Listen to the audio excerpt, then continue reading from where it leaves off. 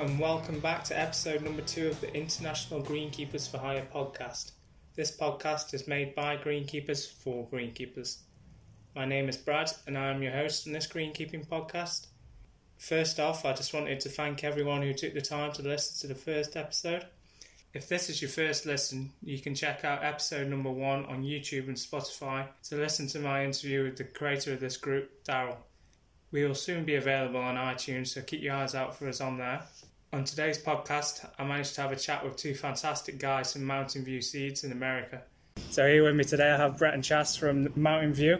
Would you both like to start by telling me a bit about what you do and how things happen, really?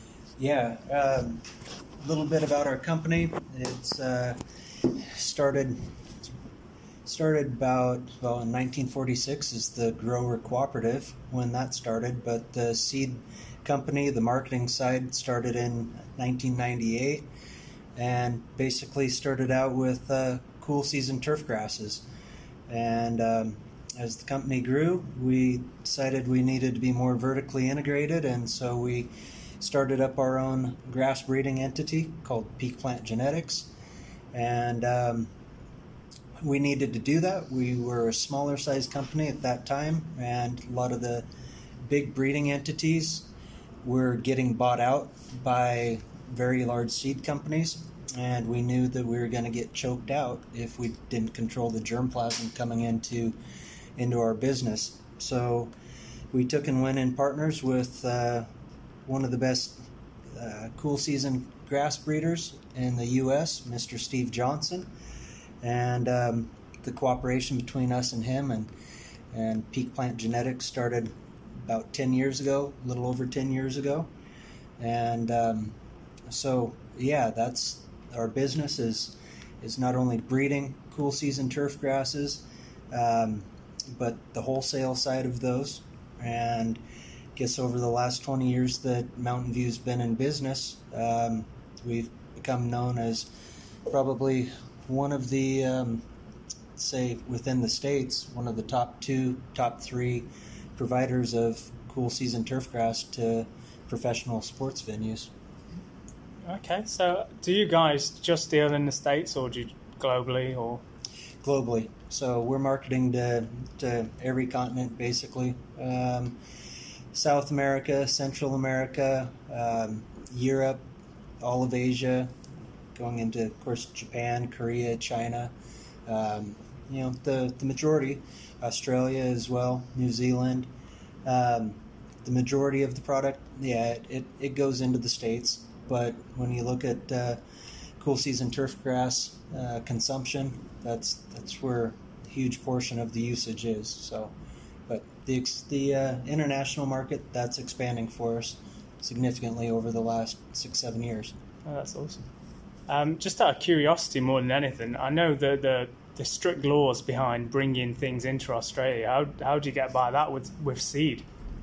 Yeah, the seed side of it's relatively easy. There's uh, phytosanitary restrictions, um, simple seed tests that our uh, government agencies do on each seed lot, and so Australia, it's uh, it's not the easiest, but it's it's not the most difficult by far to, to export seed to.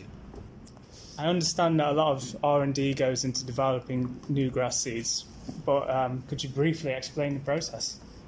Yeah, um, so we work with uh, several university partners to get our germplasm and then bring it out to Oregon. So primarily we, we work with uh, Rutgers University, um, and so they do a lot of the the back end work. So they're making trips to Europe um, and to other continents to do collections of the grass seed. Um, they have a partner over in Holland that'll grow the the uh, grass that they have selected and produce seed out of it, and then we have to import the seed into the U.S. So we can't use vegetative plugs or sprigs to bring them in. So we're getting the seed in that gets um, brought into Rutgers. They go through several years of screening um, and develop a variety. And then from there, we take that variety and finish it off in Oregon. Um, and so we do a lot of the back end breeding for seed yield. We'll screen for a lot of our cool season diseases that we see in Oregon, um, like microdochium patch or pink snow mold. Um, and then we'll also um, screen for winter growth since we have a lot of winter growth, and that's an important part. Um, and then we also do some of our own breeding work from start to finish at Peak Plant Genetics as well. So we're we finish off and we develop new varieties as well. So it's kind of a one-stop shop for all cool season grasses. So how do you decide what seed mixture is right for what site or you what type of what variety of grasses is right for the site? Well, we do a lot of independent testing through universities. So with the NTEP in the U.S., we're able to have our grass seeds in all the different kind of climatic environments in the U.S. And so by looking through a lot of that data, we're able to see which region our seed does the best in, and then kind of look at that climate data and try to relate that internationally to other countries. Um, we also do some contract work for some of the out of box kind of stuff that we've been looking at. Um, some of the blue muda that we talked about, we've we're just kind of throwing everything at it to see what sticks, and we found some unique things there um, that are pretty interesting. So it's a lot of trial and error, um, and it comes with experience. So we've got quite a bit of experience with our sales staff. And so usually someone within the group has experience of what does well where and and uh, kind of how to go forward. But there has been cases of um, things we don't expect, either customers per- pushing it out of what we think the the range is, and they do well, and so there's always some eye opening experiences that we see and they kind of push the boundaries. So, you know, example would be tall fescue, the newer generations of tall fescue. Um, the genetics is getting so good and the heat tolerance and drought tolerance is getting so good. It's getting per- pushed further and further south in the United States, which, you know, 10 years ago we never would have expected. So that's kind of been neat to see. So, yeah, a lot, going, a lot going on there. Yeah, yeah. So it's, um, interesting finding these new homes for different grass species and seeing how um, you know, two different species will, um, you know, kind of interact with each other and, and become a, you know, a stand and coexist together. So it's, it's pretty cool. Yeah. There's a there's a huge investment that the consumer doesn't even realize that's going on at the university level, whether it's University of Kentucky, University of, of Rutgers University. Um, they're they're trialing thousands and thousands of turf plots each year, tens of thousands of turf plots each year, and um, some of those turf plots, they're low maintenance turf plots, um, low input turf plots, um, drought studies, uh, shade shade tolerance. Um, they're going out, they're coming up with every mixture under the sun of species to go and rate them and actually put some science behind what's happening not just uh, some of the companies that have an oversupply of a certain certain species, and then they go to the consumer and say, "Hey, this is what's good for you." When reality was they just had an oversupply situation, and they're trying yeah. to get trying to get, get inventory yeah. going. so we've had to lean back on university data um, on multiple occasions, going and telling our our end users, "No, that that's not the that's not the mixture you want to go with," even though company A is selling it and saying it, look at the university data. It's independent. It's independent data, and that's where the proof is. And that's not the best product that uh, that you want to go with. Might be the cheapest, but that's not the best product that you want to go with. So we're currently at the Science and Innovation Day at Sydney University, and you guys performed a brilliant seminar earlier, just so that the viewers know.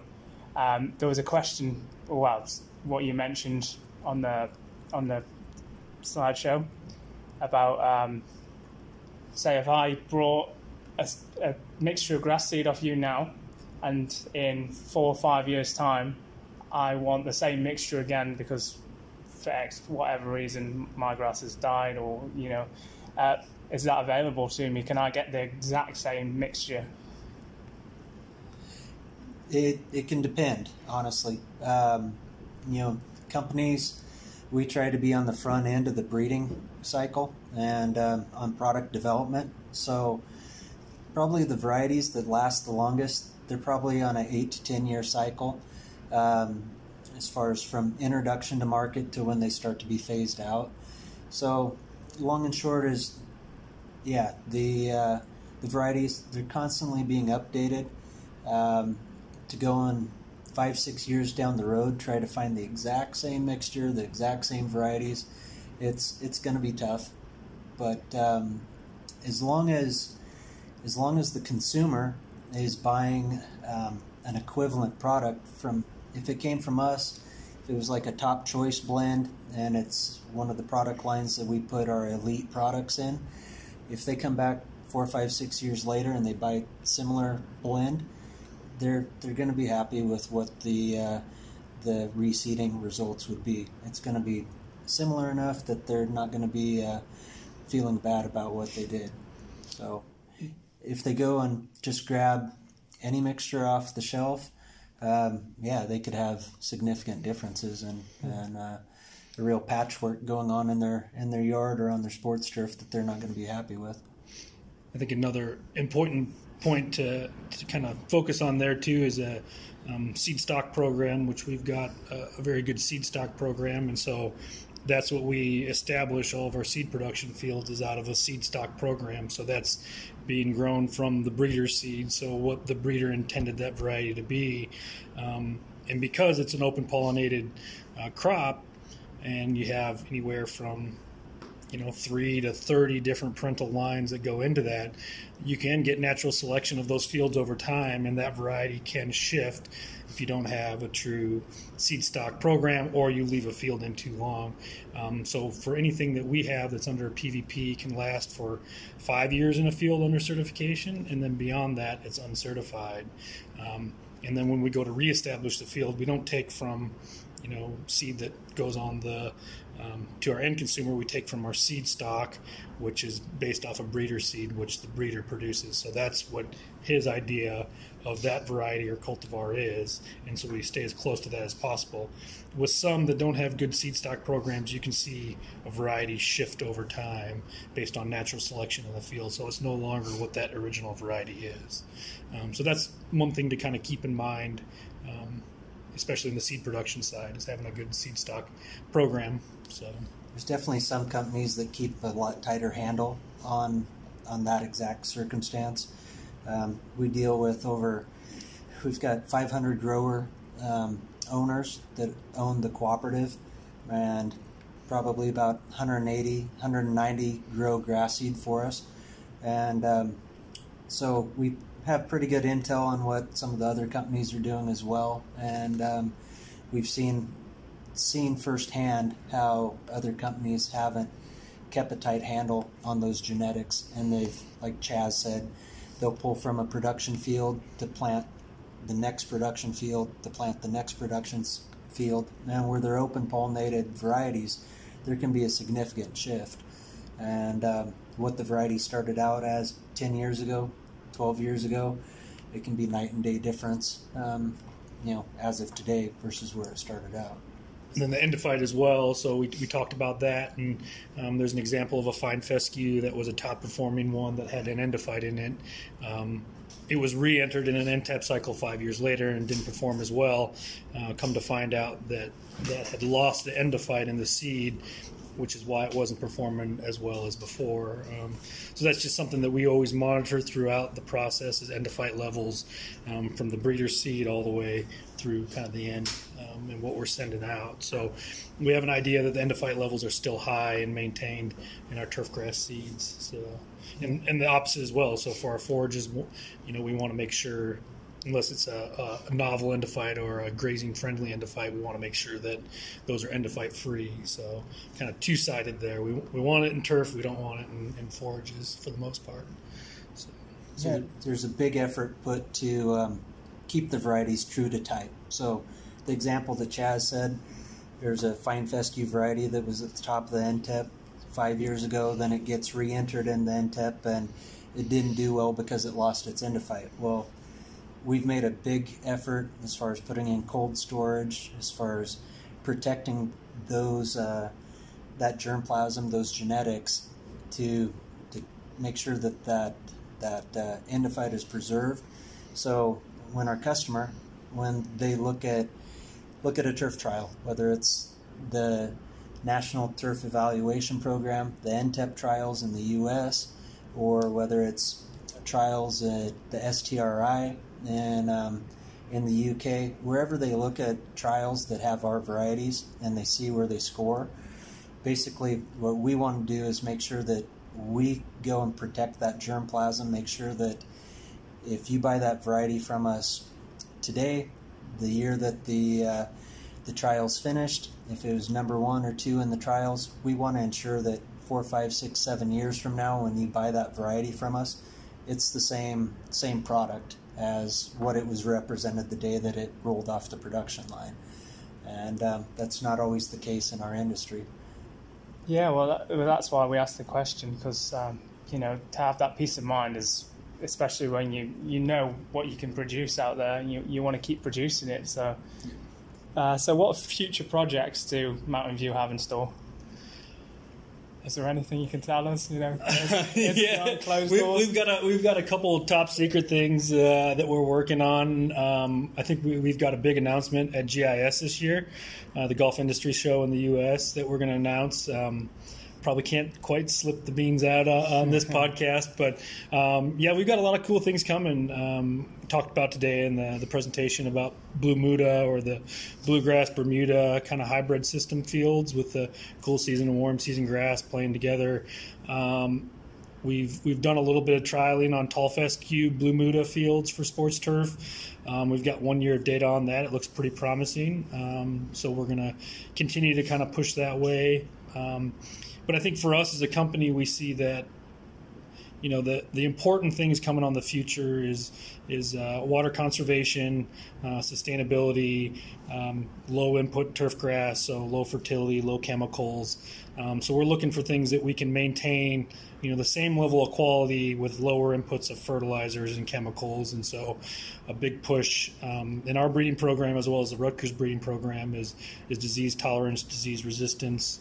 Um, we're looking at salt tolerance as well.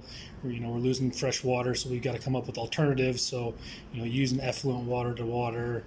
Um, heat and drought's always a big one. Um, so, Rutgers is, is good enough that they have several rainout shelters, so we can test a lot of our varieties um, without rain. And then in Oregon, um, we don't get rain for about 90 days during the summer, so we can simulate drought conditions throughout the summer as well. So um, with that, we can come up with pretty good grass varieties that, that need quite a bit less input than they used to in the past.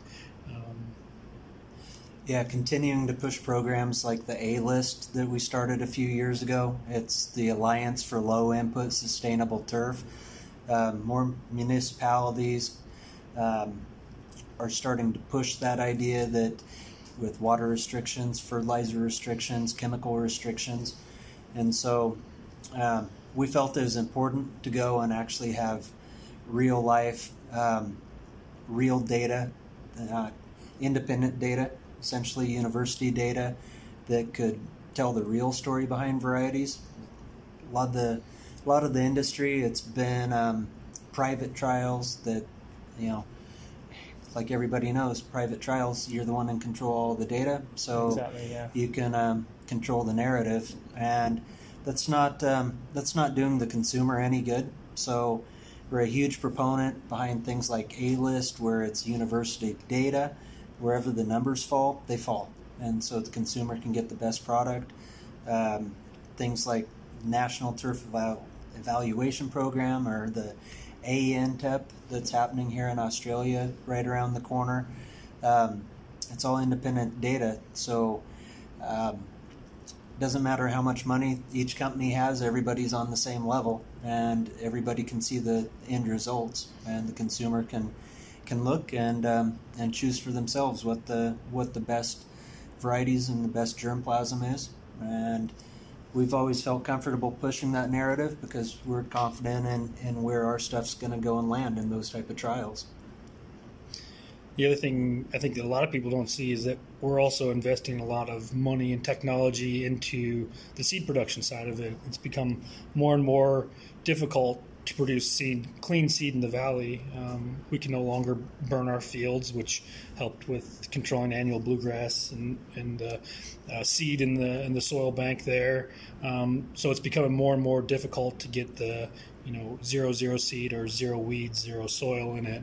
Um, and so we've invested quite a bit of money in in how we can control um, weeds and seed production fields, and um, we've invested in um, some trials looking at um, both herbicides and PGRs and different chemicals and fertilizers to improve our seed yield and uh, maintain our seed yield while controlling the weeds in the field. So that's going to be, I think, for the next 10 to 20 years, that's going to be the the biggest push in the in the seed world is how to get clean seed and and how are we going to produce this clean seed because everyone wants zero zero everyone wants clean seed no one wants Yeah, of course. you know, seed with weeds in it so that's going to be a, a big push for the future not only for us but all seed companies so something that we're we're very aware of and, and investing time and money into so And that's probably become something that's, um, I suppose, a, a bigger challenge in, in agronomy over the last 10 years is that um,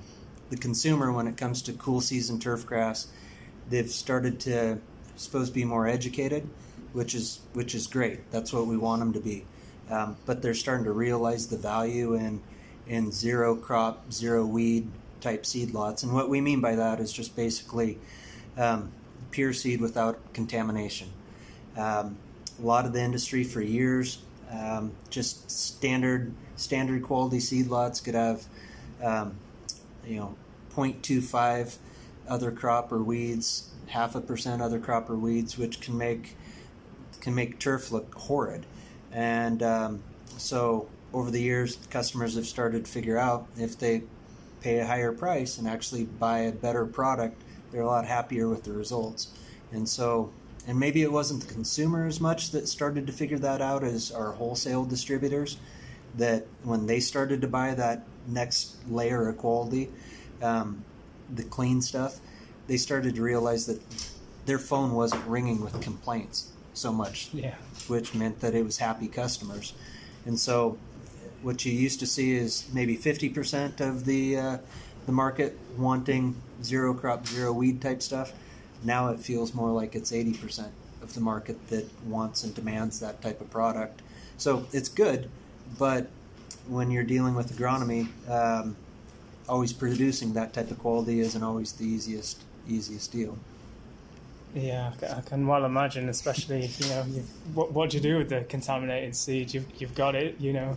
Yep Um, there's uh yeah i mean there's always places for stuff like that but you know as a turf manager you probably don't think about the back end and Yeah. how seeds produced and uh, it's uh, it's interesting to get a different perspective on the the seed industry so it's something that was foreign to me up until about three years ago so you know seeing the other side there's a lot that goes into it that Yeah, you don't expect so exactly. We just order a bag of seed and it turns up and it's you expect it to be clean and all that seed Yeah, and and and we don't know any of the process that goes on behind it, so it's it's great to hear it all and how it works and all the tests, the trials, and Yeah. all the things you guys got going on there. Yeah. So do a quick plug for our field day next summer, uh, June 23rd and 25th. We do a field day out in Oregon every other year. Um, and we bring people out to look at our seed production uh, and also look at our turf plots and kind of just do an overview of Mountain View as a company uh, and then do a tour of our facilities and things like that. So um, Oh, that's nice. if there's people interested in it, they can get a hold of Brett or I, and uh, we can make it happen. But usually have about 100, 150 people come to our field day during the summer and get a look at all the different varieties, not only ours but industry standards as well. So uh, yeah, it's a pretty cool day. And is, is that open for all? Is that just contact you and you? Yeah, for for the most part, it's mostly our distributors that come in. But um, you know, if there's people that want to come out to it, we're, we're more than happy to be flexible and, and bring them in. Right? That's- Brett gives me the look here. Looks like Chas is controlling the budget. yeah, watch your emails. Yeah. You have a few. you got to make it to Oregon though. So here's a big question: um, Can you create a grass that's as good as an artificial surface? It's a tough question because I, I, I would say that there are quite a few flaws of an artificial grass, right?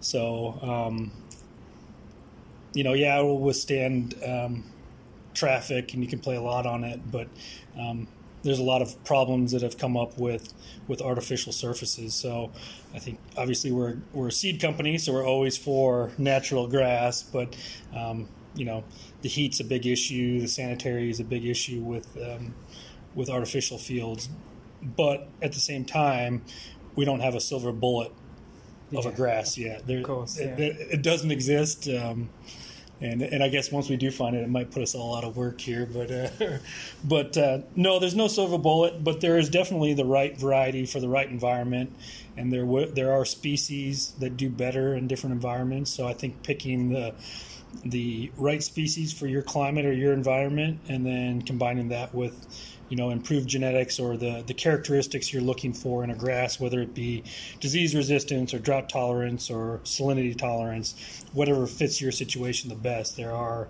um, better species adapted to different climates, so picking the right species is, is definitely a big part of that puzzle. Um, so I would encourage anyone to do their homework before any kind of major Yeah, renovations. so, so no artificial real grass yet then.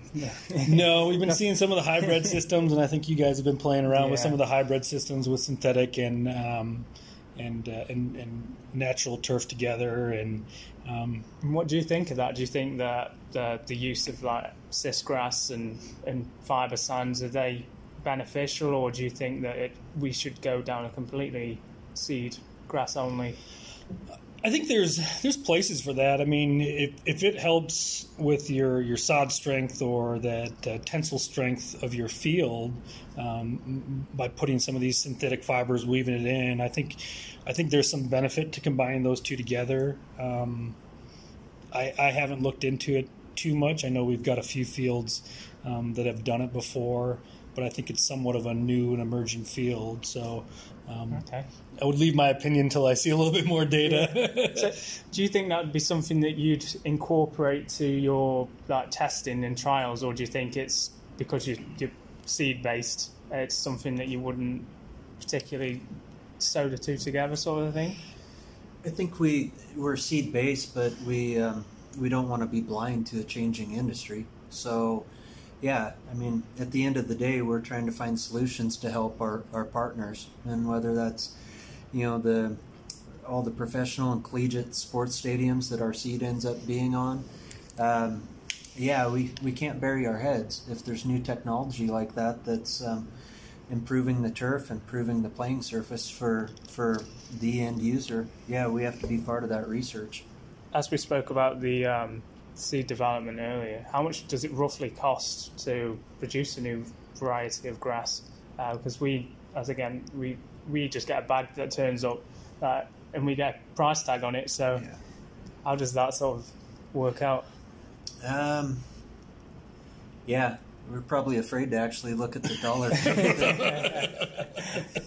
goes into breeding a variety. If we look at our R and D budget versus uh, versus how many varieties are, are put out on a on a every year on an annual release, it's it's a big big investment Yeah. without a doubt. And I think it would be a lot, lot more if we didn't have university partners. You know, they're they're taking a lot uh, on as far as doing collection trips. I mean, there's no private breeders in the U.S. that are doing collection trips to the scale that Rutgers is doing finding that new germplasm to bring into their breeding program. So if we didn't have partners like them, we wouldn't be able to release near as many varieties as we have. Um, they've just opened up the amount of germplasm that we have access to. So I think that has really brought down the cost of of seagrass seed and how much it costs to produce it. But it still is very expensive. You know, you talk about not only breeding, but then all the testing that goes into it. You know, putting things into NTEP and all the private testing that we do. Besides that, it's um, it's a significant investment, and then we're paying um, you know our partners royalties on top of every pound of seed that we sell as well. So um, some money comes out on the back end as well. So it's it's definitely a big investment, um, but we feel that the, the genetics is the most important part. We don't want grass seed to become a commodity that's traded like uh, some of the forages are. We want you know we have unique characteristics that separate us from from other seeds. There's other varieties, and we want to capitalize on that. So and just the investment that goes into trials, um, real university trials on some of these varieties. Um, just to go into the NTEP alone, it's over ten thousand dollars per entry, and you can be entering dozens of varieties over the course of a couple years, and then. Um, and that's just if you're going with domestic trials, and then by the time you layer all the international trials on top of it, um, you know, some of the varieties we can have over twenty thousand dollars worth of cost just in trialing, and that's not development of the product. That's that's actually the data to prove that the variety is has a certain value to it, and um, is at the top of the lists, and the municipalities or the countries say that yeah, it deserves to be marketed here. So there's there's a big investment that the end user doesn't doesn't usually know about. yeah, it's huge. Uh, there's a lot there that you mentioned. Yeah. So, what are the most common misconceptions that you see? Good question. Yeah, I think part of the discussion today that we've been talking about a lot with misconception is um, um, the amount of money, the amount of inputs that go into um, these these professional collegiate sports pitches or municipalities, the the sports pitches, and um, and you look at the the amount of money and time invested to get a playable surface or a respectable surface, and um, and trying to educate the uh, the groundskeep about the actual value of the seed. Because as some of our partners have said they they really have no idea or a lot of them don't have much of an idea how how much of an effort is being put in behind the scenes to develop improved turf varieties. So you'll have a lot of the consumers that they they'll go cheap on on on on the bag of seed when that's the heart when that's the uh, the first step in the whole process. And so they think that they're saving some money on a bag of seed, and then they end up having to put down an extra one, two, three, four fungicide applications or, or applications for this disease or that disease, and then you'd like to ask them, so how was that investment for you? Because it didn't pan out very well. yeah. Um, so you know what we would push, I suppose, as much as anything is, um, you know, don't don't necessarily just listen to us and and we're not trying to sit here and say that that we're the only ones with anything good on the market. But what we would push is go and dig into um, into uh, public trials, public data, and actually be educated about what the varieties are that you're purchasing. And if a salesperson um, or a store puts some sort of a tech sheet in front of you saying that this variety has these traits or that trait, um, you know, the power of the internet's a pretty incredible tool today take a little bit of time and do a little research on your own because you might be surprised what uh, somebody's tech sheet versus reality actually is. So, uh, that little bit of time doing your own research is probably a valuable investment. Yeah, yeah, I would kind of echo what Brett says. You know, as far as improvements year to year, I think I think from cycle to cycle we see big jumps in the turf quality um, so kind of staying on top with the newest, latest, and greatest is um, for for most cool season species is is important. Um, you know, we see standards re-entered in the next NTEP cycle, and they could be a top five performer in the previous cycle, and they'll drop off the first page, you know, out of the top forty, and then next year, just because we've cycled so far ahead. Um, one good example I like to use there was some work done at Rutgers on improved bent grasses that have dollar spot tolerance. So if you use an older variety like Penncross that's uh, susceptible to dollar spot, um, if you're on a calendar application throughout the summer, um, you're spraying about eight times to control dollar spot throughout the summer season. If you get a variety that has tolerance or resistance to dollar spot, you can decrease that all the way down to two applications on more of a curative or kind of scouting program. So there's real savings there when you're talking about reducing six fungicide applications per season with just picking the right variety. Um, so yeah, so simply doing your research can save you a heap of money. Yeah, yeah, so it may cost a little bit more on the front end to buy that seed, but when you think about how much money you're saving in fungicides and um, you know, how much better that is for the environment, I think that's really something to consider. Um, so it's it's you know not a huge difference between some of the seeds. So really do your homework and and, and get what works best for you in your situation. I think is is the biggest take home. So. And finally, I'll, I'll leave this as the last question. As you just mentioned there about the environment, how focused on the environment are you? Obviously, you you need to produce a product to sell. um, to make the money to do the research, but how do you look after the environment along the way? Yeah, I think uh, as Brett pointed out before, the A-LIST, I think that's a big push for us, which is the Alliance of Low Input Sustainable Turf. Um, so we we really don't want to push for. You hear a lot of people saying that brown is the new green. Well, we think through breeding genetics that we can push for that green is the new green. We can manage everything with lower inputs and still attain the same high quality turf grass. Um, so yeah, we're really pushing in that field with our disease tolerance, our heat and drought tolerance, and and low fertility inputs, and that's how we're really kind of focusing our breeding program right now, so we don't have to put as many inputs in. Um, and I think you can see that in the bent grasses. Um, you know, the fertility requirements have really dropped down since some of the older varieties. They can maintain them at much lower fertility rates. Um, a lot less fungicides are needed to be applied to some of these turfs. So, uh, yeah, I think we're we're making small improvements, but if you keep stacking them on top of each other, it, will pay off in the long run. So, yeah, that's fantastic. Um, and we'll wrap it up there. You Yeah, know, right. Thanks- was, thanks for having us. Brilliant. Thanks for Appreciate it. thanks for Thanks being here. Thanks for your time. yeah. Again, big thank you to Brett Freeborn, Director of International Sales, and Dr. Chas Schmid, Director of Agronomy. It was awesome to get the opportunity to speak with these two, and I hope you all managed to learn something along the way. Just a quick one before I end. Please do contact Brett, Chas, or myself if you're interested in going along to their field day on the 23rd and 25th of June next summer.